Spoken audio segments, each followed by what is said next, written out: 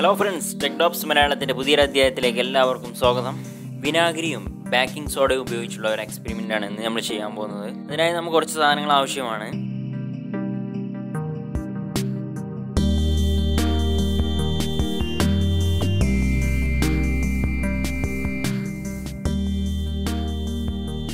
അപ്പോൾ ഇത്രയും സാധനങ്ങളാണ് നമുക്ക് ആവശ്യമായിട്ടുള്ളത്. അപ്പോൾ ഇനി നമുക്ക് എക്സ്പെരിമെന്റിലേക്ക് കടക്കാം. ആദ്യമായിട്ട് നമ്മുടെ കയ്യിലുള്ള കുപ്പിയിലേക്ക് കുറച്ച് വിനാഗിരി ഒഴിക്കുക.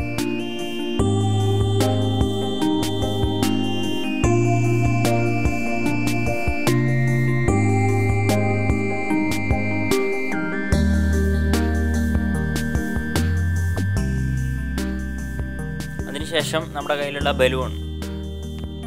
ബലൂണിനകത്തേക്ക് കുറച്ച് ബേക്കിംഗ് സോഡ ഫില്ല് ചെയ്യുക.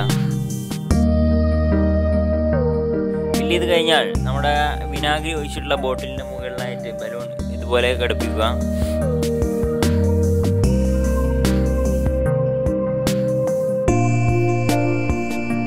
അതിനുശേഷം ബലൂണിനകത്തുള്ള ബേക്കിംഗ് സോഡ സാവധാനം കുപ്പിയുടെ അകത്തേക്ക് ഇടുക. ഇപ്പോൾ നമുക്ക് കാണാൻ സാധിക്കുന്നുണ്ട്. നമ്മുടെ ബലൂൺ വെറുതെ വരുന്നുണ്ട് നന്നായിട്ട്. ഇവിടെ സംഭവിക്കുന്ന ഒരു കെമിക്കൽ റിയാക്ഷനാണ് നമ്മളിവിടെ ഉപയോഗിച്ചിട്ടുള്ള ബാക്കിംഗ് സോഡ അത് അപ്പക്കാരം എന്ന് പറയുന്നത് സോഡിയം ബൈകാർബണേറ്റ് ആണ്. പിന്നെ നമ്മൾ ഉപയോഗിച്ചിട്ടുള്ള വിനാഗിരി എന്ന് പറയുന്നത് ഡയലൂട്ട് അസറ്റിക് ആസിഡ് ആണ്.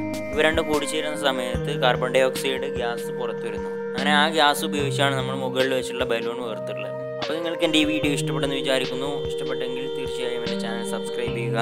സബ്സ്ക്രൈബ് ചെയ്യുന്നതോടൊപ്പം തന്നെ ബെല്ലൈക്കൺ എനേബിൾ ചെയ്യുക. അപ്പോൾ നല്ലൊരു വീഡിയോ ആയി നമുക്ക് വീണ്ടും കാണാം.